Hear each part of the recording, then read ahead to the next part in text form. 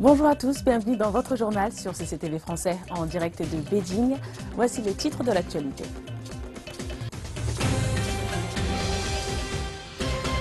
La Turquie stoppe le déploiement de ses troupes dans le nord de l'Irak mais ne les retire pas.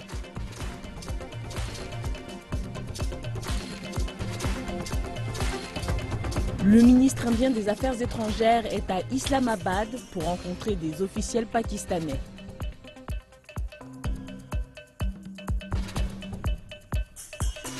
Des avions espions américains seront déployés pour la première fois à Singapour.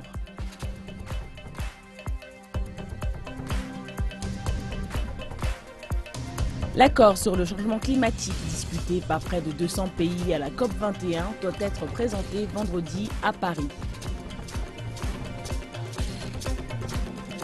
Les habitants d'un village chinois tentent de récupérer une statue volée détenue par un collectionneur néerlandais.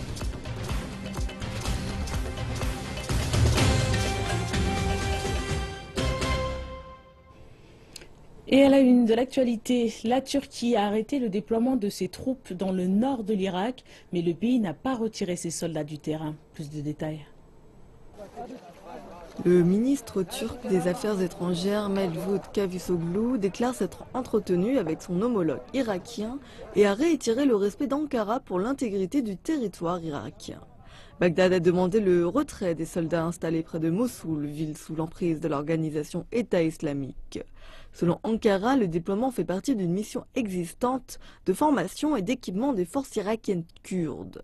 Mais Bagdad déclare n'avoir jamais invité les forces armées turques et traduira l'affaire devant les Nations Unies. Le Premier ministre turc Ahmet Davutoglu souhaite se rendre à Bagdad le plus tôt possible pour calmer le conflit. J'ai envoyé une lettre au Premier ministre irakien Haïdar al-Abadi. On espère que le ministre irakien de la Défense se rendra bientôt en Turquie et que je visiterai Bagdad le plus tôt possible pour une réunion de consultation de haut niveau. Nous continuerons à travailler pour stimuler les relations bilatérales et de coopération. J'aimerais dire au peuple irakien, nous soutiendrons toujours votre combat contre le terrorisme. Tous les Irakiens sont nos frères. Le Premier ministre irakien Ader al-Abadi a alerté la Turquie que le temps manquait pour retirer les troupes. Il a visité le quartier général des forces de l'air du pays, demandant aux soldats de se préparer et de se tenir prêts pour défendre l'Irak et sa souveraineté. Pendant ce temps, M. Abadi s'est joint aux côtés de la Russie et de l'Iran sur l'affaire de contrebande de pétrole de l'organisation État islamique à la Turquie, déclarant qu'une grande majorité de la production de pétrole du territoire de l'organisation État islamique en Irak et en Syrie est passée en contrebande en Turquie. Le ministre russe de la Défense, Sergei Shoigu, a déclaré mardi que la Russie avait attaqué des positions de l'organisation État islamique en Syrie avec des missiles calibres lancés par un sous-marin déployé en Méditerranée. Selon Shoigu, les missiles lancés depuis une position immergée visaient deux cibles importantes de l'organisation État islamique. Shoigu a indiqué que c'était la première fois que de tels missiles étaient lancés par le sous-marin Rostov-sur-le-Don. Euh, durant une rencontre avec le président russe Vladimir Poutine, Shoigu a déclaré que les objectifs étaient un autre entrepôt d'armes, une usine de mines ainsi euh, qu'une infrastructure pétrolière. Euh, le ministre russe a enfin ajouté qu'au cours des trois derniers jours, l'aviation russe avait réalisé plus de 300 sorties depuis la base aérienne de en Syrie et visé plus de 600 cibles. La ministre indienne des Affaires étrangères, Sushma Swaraj, est arrivée dans la capitale pakistanaise Islamabad. Swaraj rencontrera à la conférence sur l'Afghanistan le Premier ministre pakistanais Nazwaj Sharif et les hauts officiels euh, pakistanais des Affaires étrangères. C'est le premier déplacement dans le pays en trois ans de l'Inde au niveau ministériel. Euh, la visite intervient après que le Premier ministre indien Narendra Modi et son homologue pakistanais Sharif ont repris des contacts de haut niveau aux discussions sur le changement climatique de Paris la semaine dernière. Euh, les partis de l'opposition indienne se posent des questions sur l'approche tout ou rien de la relation du pays avec son voisin. Et depuis sa prise de fonction en 2014, Modi a autorisé les forces de sécurité à utiliser toutes les mesures nécessaires dans la région frontalière disputée avec le euh, Pakistan. Et autre grand titre de l'actualité, les États-Unis vont déployer pour la première fois à Singapour des avions espions P-8 Poséidon. Plus de détails. Lundi, dans un communiqué commun à l'issue d'une réunion à Washington, le secrétaire américain à la Défense, Ashton Carter, et le ministre singapourien de la Défense, N N, ont salué le déploiement de l'avion à Singapour entre les 7 et 14 décembre prochains. Un responsable américain a indiqué que des déploiements ultérieurs étaient probables.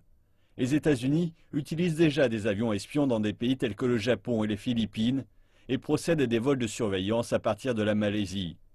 La Chine a déclaré que cette décision allait conduire à la militarisation de la région et ajouté que ce déploiement ne servait pas les intérêts de long terme des pays.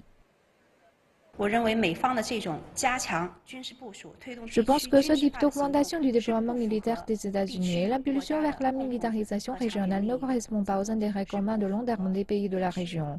Nous espérons également que les parties prenantes prendront plus de mesures qui soient réellement bénéfiques au renforcement de la confiance mutuelle entre les pays de la région, qui bénéficieront à la protection de la paix et du développement de la région. Passons à Paris maintenant, où les euh, représentants de près de 200 pays s'activent dans les dernières négociations, des négociations qui permettront d'aboutir à un accord afin de limiter le réchauffement global. L'accord final devra être présenté vendredi prochain. Les négociations doivent permettre aux pays riches et pauvres de s'étendre pour limiter les émissions de gaz à effet de serre à l'horizon 2020. Il apparaît déjà évident que les efforts consentis par les pays à l'issue de la conférence sur les changements climatiques de Paris ne seront pas assez suffisants pour euh, éviter l'augmentation de la température globale à 2 degrés Celsius. Euh, cependant, les pays en voie de développement recevront plus de fonds euh, pour délaisser progressivement les énergies fossiles et des fonds spéciaux seront également alloués aux pays les plus vulnérables aux inondations meurtrières, aux sécheresses, aux tempêtes et à la montée du niveau des eaux, conséquences directes apportées par le changement climatique. Merci de nous retrouver pour la deuxième partie de cette édition dédiée à l'actualité chinoise. Les exportations chinoises ont chuté de 1,8% pendant les trois premiers trimestres de cette année, mais certaines régions du pays font mieux que d'autres. Reportage dans une entreprise de Guangzhou qui connaît une hausse continue de ses exportations. C'est une usine qui produit des machines fabriquant des bouteilles en plastique de type poisson. Ces machines sont vendues dans le monde entier. Créée en 2002, l'entreprise est devenue la plus importante de Chine et la deuxième plus grande dans le monde, avec des clients sur presque tous les continents. Les ventes ont atteint 15 millions de dollars américains cette année et les exportations de l'entreprise se sont accrues de 30%. Nous sommes une entreprise high-tech et c'est ça le cœur de notre compétitivité.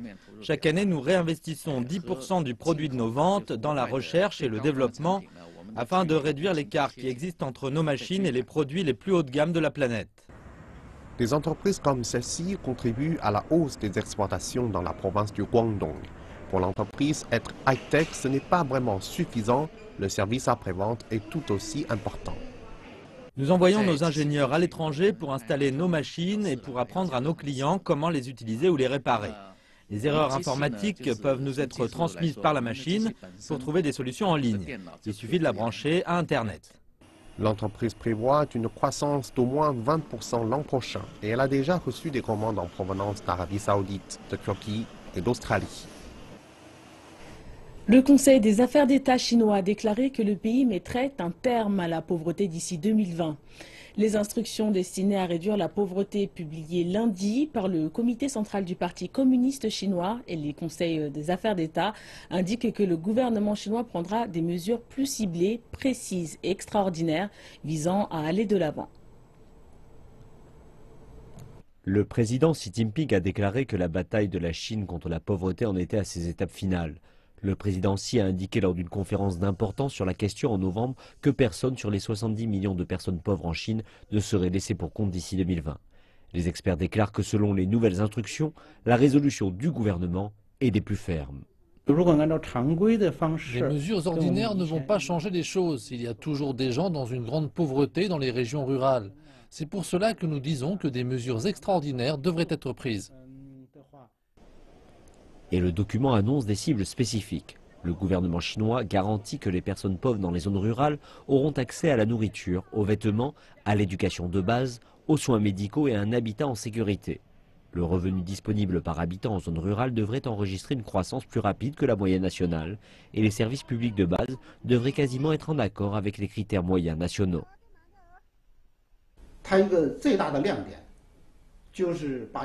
Le plan est très spécifique. Il place ces 70 millions de personnes pauvres dans quatre catégories. 30 millions d'entre elles seront aidées par le biais de la création d'emplois en secteur industriel. 10 millions le seront par des postes à pourvoir dans des villes. 10 autres millions seront aidés par des migrations. Et les 20 millions restantes seront aidés par la sécurité sociale. Le document précise également que les régions pauvres devraient bénéficier de fonds gouvernementaux pour la protection environnementale, le support éducatif et l'assistance médicale. La construction d'infrastructures devrait également s'en trouver renforcée. Outre la construction de voies ferrées, de routes, d'installations d'eau et de projets énergétiques, l'accès à Internet et les services logistiques seront améliorés en vue de favoriser le développement du commerce électronique. Une statue de Bouddha, vieille d'un millier d'années, actuellement en possession d'un collectionneur néerlandais, proviendrait en réalité du temple d'un village d'où elle aurait été dérobée. Les villageois de Yangtun, un village situé dans la province chinoise du Fujian, exigent son retour, mais les négociations s'avèrent délicates. Selon l'avocat qui défend les villageois, le propriétaire néerlandais propose trois conditions pour le retour de leur statue. En premier lieu, qu'elle soit remise à un grand musée plutôt qu'au temple où elle se trouvait à l'origine. En second lieu, qu'ils reçoivent l'aide du département chinois des reliques culturelles pour se rendre en Chine afin d'étudier les gravures sur pierre. Et troisièmement, qu'ils reçoivent une forme de compensation dont il n'a pas encore spécifié la nature. La statue est celle d'un Bouddha vivant nommé Zhangong Zushe, un habitant local qui est devenu moine lorsqu'il était âgé d'une vingtaine d'années et qui s'est fait une réputation pour ses talents de guérisseur et pour avoir propagé la doctrine bouddhiste. À sa mort, son corps a été momifié et placé à l'intérieur de la statue. Depuis lors, il a été vénéré dans le temple du village. Après huit mois de contact patient, indirect et difficile avec le collectionneur néerlandais, les villageois de Yangchun ont loué les services d'avocats dans l'espoir de récupérer la statue qu'ils revendiquent comme leur. Pour le moment, ils ont toujours l'espoir de régler ce différend par la médiation plutôt que par l'action judiciaire. Pour ceux qui ont grandi sous des latitudes chaudes, l'hiver dans le nord peut s'avérer difficile à supporter euh, malgré des vêtements de fourrure.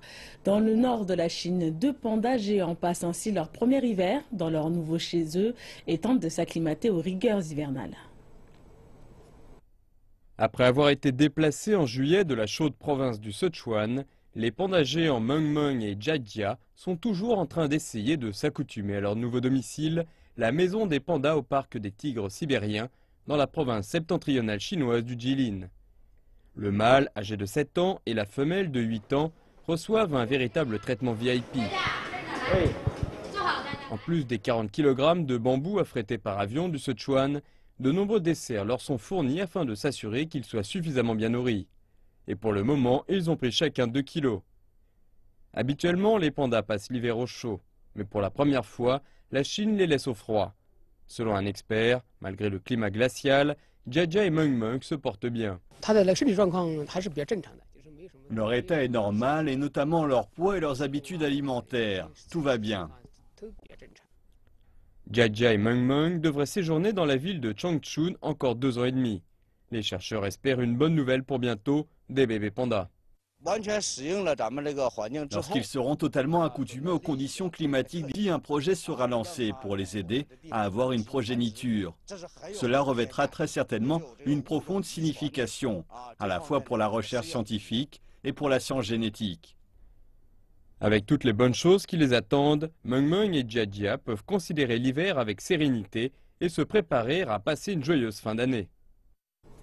La Power Station of Art de Shanghai organise trois expositions résultant d'une compétition. Son message est que les jeunes conservateurs peuvent avoir une large perspective internationale, mais doivent rester prudents pour ne pas se cantonner à un cercle d'artistes. Explication.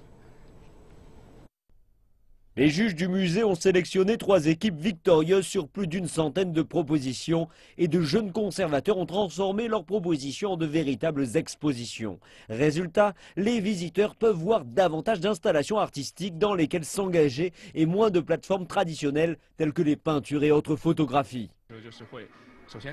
Quand nous choisissons les artistes, nous sélectionnons ceux qui ont fait de véritables choses dans la vie, comme le véhicule écrasé et le restaurant de pâtes dans notre exposition.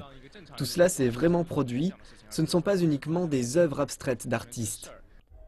Un conservateur déclare que dans le secteur de l'art, à l'heure actuelle, les conservateurs doivent s'éloigner de leur zone de confort lorsqu'il s'agit de choisir les artistes. Je pense que les jeunes conservateurs doivent briser leur propre cercle, cette zone de confort, de certitude. Beaucoup d'entre eux choisissent fréquemment les travaux de leurs proches amis, artistes, et les expositions se ressemblent à chaque fois. Mon partenaire et moi-même avons atteint un accord selon lequel nous n'ajouterons pas trop de choses personnelles dans l'exposition. Nous ne sommes que des transporteurs d'artistes pour aider et faire venir de bonnes œuvres d'art dans un espace adapté. Je pense que les jeunes conservateurs aiment travailler dans leur réseau, mais les conservateurs plus âgés se concentrent davantage sur les bonnes œuvres d'art. C'est là la grande différence entre eux. Selon moi, c'est lié à l'âge et l'expérience. Le directeur du musée déclare que la jeune génération de conservateurs a pour la plupart reçu une éducation à l'étranger et qu'ils ont une vision internationale élargie. La chose cruciale que les conservateurs ont besoin d'améliorer est de comment exécuter de façon pratique et de transformer leurs idées en une véritable exposition. Il est facile d'imaginer une exposition dans une galerie, mais lorsqu'il s'agit d'un musée, vous devez utiliser de façon appropriée l'espace il est sûr que vous allez rencontrer de nombreuses difficultés. Nous estimons que cette opportunité que le musée offre fournira une aide pour le développement à l'avenir.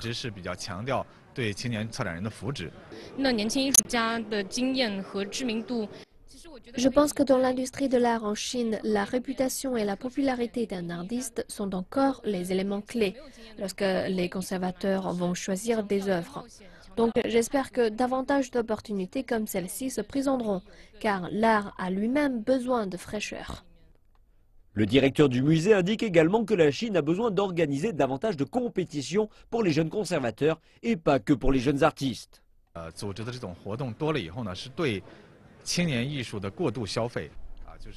Je pense que de trop nombreuses compétitions pour jeunes artistes vont entraîner une commercialisation trop précoce. Ce n'est pas une bonne chose pour l'industrie de l'art, car les jeunes artistes ont un long chemin à parcourir. Que peuvent-ils faire d'autre si leurs travaux ont été commercialisés et utilisés trop tôt dans leur phase de développement? C'est pourquoi nous avons choisi d'organiser une compétition pour les conservateurs pour aider cette jeune génération. L'exposition dure jusqu'au 18 mars à la Power Station of Art de Shanghai, entrée gratuite. Et c'est la fin de cette édition. Merci de nous avoir suivis. On se retrouve dans une trentaine de minutes pour l'Afrique Info. Excellente suite de programme.